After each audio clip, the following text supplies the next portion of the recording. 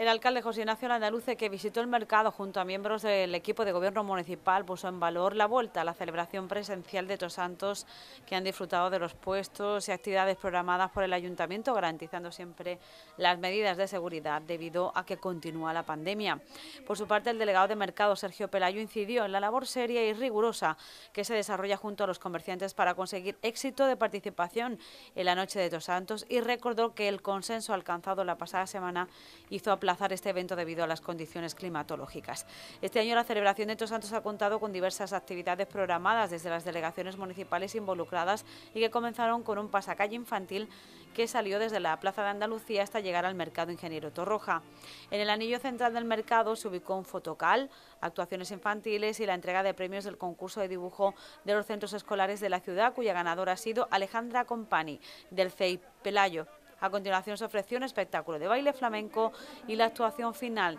de tributo al último de la fila con el grupo musical Los Hombres Rana.